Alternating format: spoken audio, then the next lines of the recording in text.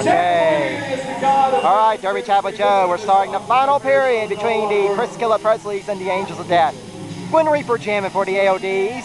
And I think it's Chica Bandita for the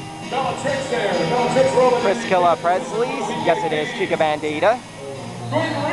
And Gwen Reaper is our lead jammer. Score is 73 to 15. AOD's on top of the PKPs. Chica Bandita is out of the pack. Chica Bandita, number 23, co-captain of the PKPs.